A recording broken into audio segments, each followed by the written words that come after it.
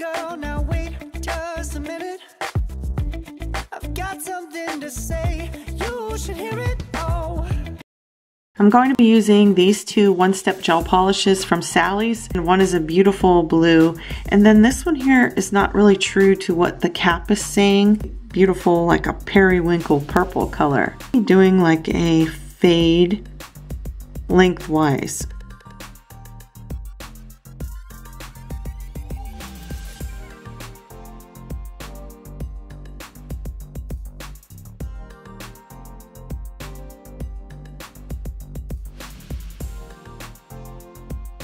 Cure that for 30 seconds. Just get a piece of Mylar and you just crinkle it up. All the Mylar that I use can be found at the Dollar Tree store for $1. I cut a piece of Mylar that is smaller than my actual nail that I'm working on. And the reason that I do that, if you bring it all the way to the edge of the nail and then seal it and then file through that seal, that you risk having this whole piece lift off with the mylar that's on top of it when you encapsulate it. It did uh, in the past to me. So you'll want to leave a perimeter so that the piece of mylar can be completely sealed inside the nail. I do have two videos of doing this type on acrylic nails and I will include those links in the description box so you can go and check them out. I'm going to buff off the shine apply some brush on nail glue.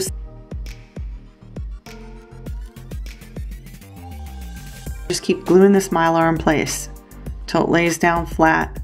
It's a little bit of a challenge to do that. You can come in with your scissors and just trim off spots. Add more glue where it might be lifted. Here is Madam Glam's Precious Stone. Just go around the perimeter and we're just gonna go ahead and cure that. I just cap it in with clear gel. I'm gonna use a very thin coat first.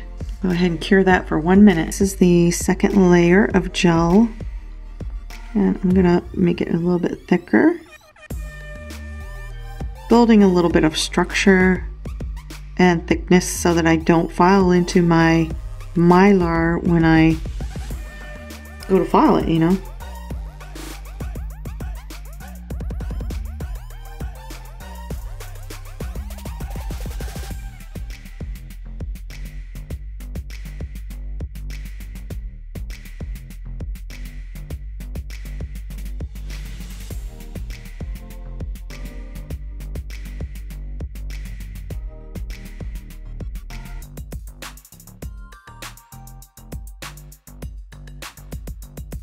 Put that in the lamp for one minute. Shape the nail and file it. As you can see right here, the gel kind of went and rolled around on the nail down the side, which is not a big deal. We just go ahead and file that and shape it up. And I'll do that and I'll be back.